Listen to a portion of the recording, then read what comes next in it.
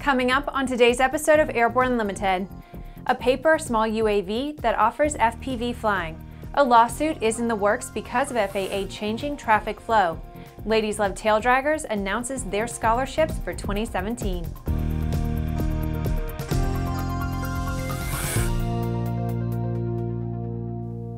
I'm Bree Cross. It's January 6, 2017, and this is Airborne Unlimited.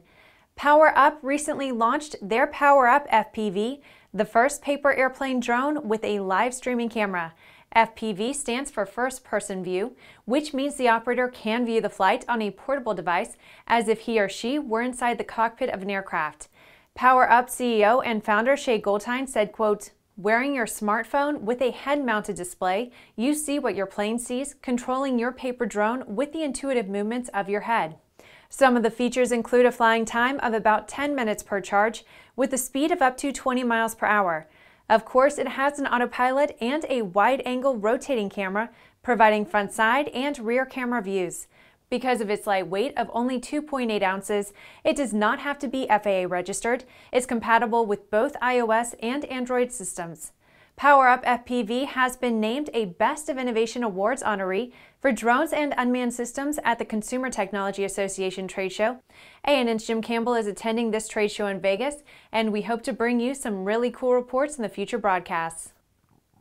Officials in Howard County, Maryland have prepared legislation that would authorize the county to take legal action against the FAA in response to air traffic changes under NextGen at Baltimore Washington International Airport. As has happened in nearly every city where the new flight patterns have been put in place, residents in the new approach and departure corridors say they have frequent low-flying aircraft over their homes where they did not before. If Howard County is successful in filing a complaint against the FAA, it would be the first county government to do so, according to the report. Other suits have been filed by cities such as Phoenix, Arizona, and Newport Beach, California. In some areas, homeowners associations have filed lawsuits as well. The City Council says they are pursuing the legal action because they have not been able to get any resolution from the FAA in any other way. After the break, move over guys. These scholarships are for lady pilots only. Concord's recombinant gas RG series sealed battery technology produces a high performance battery with the advantages of being pre tested and fully charged at the factory. Find out more about Concord's entire line of batteries at www.concordbattery.com. Concord, the heart of your aircraft. Redbird is quickly becoming the industry standard for flight training. Since Redbird introduced its revolutionary FMX in 2007, colleges, universities, and flight training operations around the world have integrated Redbird products into their curriculum. It's time to discover what Redbird can do for you. Join the migration. The dream is real, a truly affordable personal jet aircraft. The SubSonex Personal Jet Kit is priced at only $42,000. Kit plus engine is still under 100K. Add instruments, upholstery, and paint and you're flying. It's time to put your money where your bucket list is. Learn more at sonexaircraft.com. Welcome back. If you would like to be a supporter of Airborne Unlimited, send an email to jim at aero-news.net. The Ladies Love Taildraggers organization says it's time to apply for their 2017 Ladies Love Taildraggers scholarships. This year, they are reported to have five scholarships available. Scholarship number one is being provided by Brian Landsburgh at Tailwheel Town, located on Sisters Airport in Oregon. This one will get you a tailwheel endorsement valued at $1,995. Scholarship number two provides $1,000 to be used with any flight school instructor for the purpose of obtaining a tailwheel endorsement. Scholarship number three is a stick and rudder master class and is valued at $1,995. Scholarship number four is a short takeoff and landing class. The instruction and aircraft is provided by Charles Lewis at South Oaks Aerodrome in Winterville, North Carolina. This one is valued at $2,400. And lastly, scholarship number five provides both a tailwheel endorsement and unusual attitude training. This training is being provided by Billy Werth of Billy Werth Air Shows and Grayout Aerosports, located in Indianapolis, Indiana. This training is valued at $1,500. Online applications are due by midnight February 28th, and the winners will be announced no later than April 15th. It's Friday, and that means that it's time for ANN CEO and Editor-in-Chief Jim Campbell to check in with his weekly barnstorming commentary. In this barnstorming, Jim looks to the future of 2017. He sees some good things on the horizon and will share some promising ideas for a full and productive new year at ANN. Here is this week's barnstorming. Thanks, Brian. Hi, folks. Well, it's a new year. Uh, by the time you see this, both Nathan and I are on our way to the Consumer Electronics Show, or actually should be there by now. And from there to the Academy of Model Aeronautics uh, Expo West in Ontario, California. And from there, I'm going to do a day or so at Santa Monica and do a little bit of advanced work to take a look at all the things that we're going to need to cover when we go out there for a week sometime this spring in order to bring you Airborne live from Santa Monica for the week, as well as a number of other projects, including a number of short and one very long comprehensive documentary that will take a look at what's happened, where it's at, and where it all might go.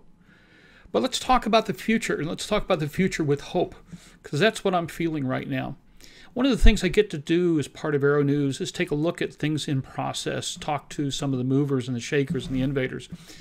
And in the process of working with a number of military people within the flight simulation community and a number of areas similarly associated with high technology, I've seen some pretty cool stuff.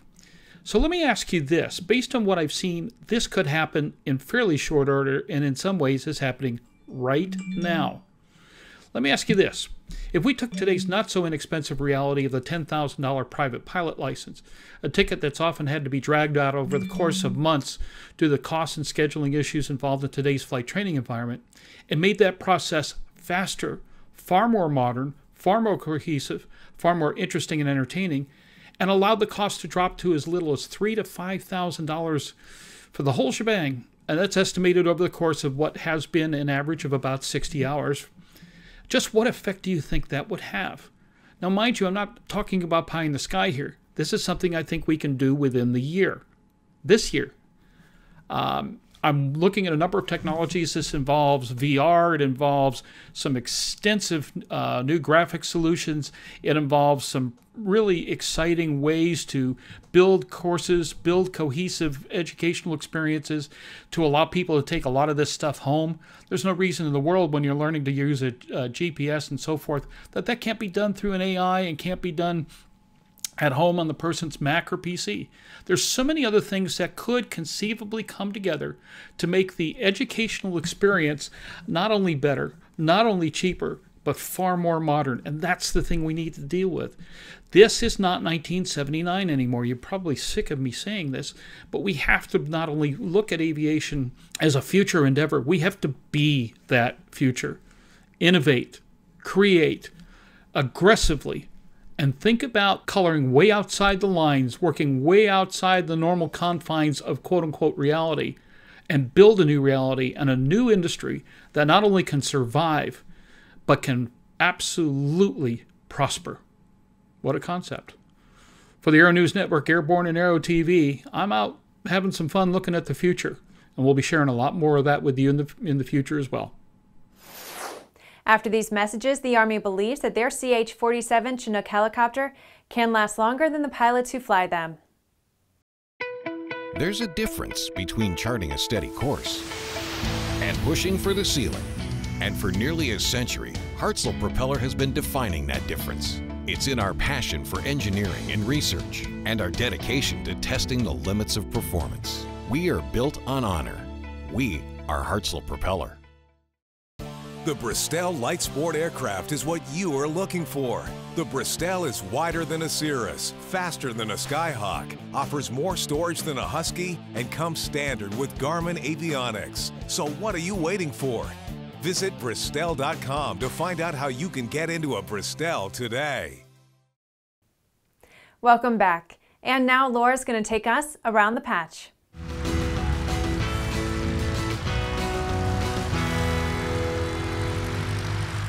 Thanks, Bree. The U.S. Army believes it can fly the CH-47 Chinook helicopter through 2060, which would give the aircraft an operational life of 100 years. ScoutWarrior.com reports that the life of the aircraft will be extended through a continuous series of upgrades. Khang & Khang LLP has announced its intention to file a class action lawsuit against GoPro. The complaint alleges that GoPro made false and misleading statements to investors and or failed to disclose faults with their Karma drone. In response to the recently released FAR 107 regulations for pre-flight inspections and record keeping for non-recreational drone use, AeroWorks has released a professionally designed commercial SUAS logbook. This commercial SUAS logbook was created by professional drone operators to meet the regulatory requirements. Masters Instructors LLC said in a news release that two flight instructors were accredited as Masters by Masters Instructors LLC, which is the International Master Instructor Accrediting Authority. They are Andrew Marinelli of Youngstown, Ohio, and Shan Van Vert of Pella, Iowa. The Upwind Foundation has released the 2017 scholarship applications and program dates. Upwind provides a scholarship that includes private pilot flight and ground training for high school students. The deadline for application is February 17, 2017. Well, that's it for today's trip around the patch. Back to you, Bree. Thanks, Laura. The Elbit Systems Clear Vision Enhanced Flight Vision System, the acronym for this is EFVS, allows a pilot to perform a full landing with no natural vision under a new rule which becomes effective March 13, 2017. The system allows dispatch and landing at a completely socked-in airport, regardless of the destination airport's infrastructure. Prior to updating the ruling, EFVS was only approved for use for descent to 100 feet above the touchdown zone elevation using straight-in landing instrument approach procedures.